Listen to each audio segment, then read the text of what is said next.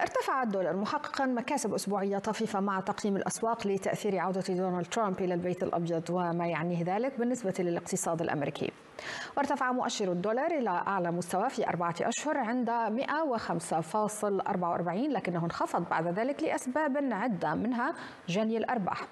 ويتجه الدولار لتحقيق مكاسب أسبوعية بقرابة نصف النقطة المئوية. وعلى صعيد العملات المشفرة انخفضت عملة بيتكوين بشكل طفيف لكنها بقيت محافظة على مستوياتها التاريخية البالغة 76595 دولار فيما وصلت الإثير موجة الارتفاعات بأكثر من 3% لتصل إلى مستويات 3035 دولار.